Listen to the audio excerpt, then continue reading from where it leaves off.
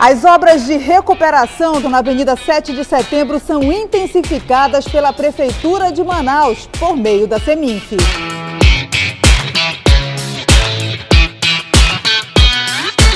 Em abril desse ano, no período de cheia do rio, o trecho cedeu, provocando a abertura de uma cratera na via. As equipes da Seminf implantaram novas aduelas em concreto armado, substituindo a rede antiga, para operar com qualidade a vazão correta das águas por um longo período de tempo.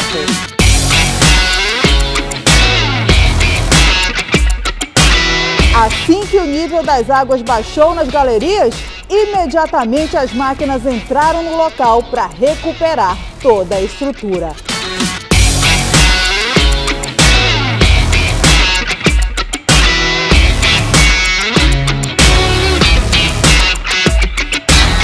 Prefeitura de Manaus, o trabalho não para.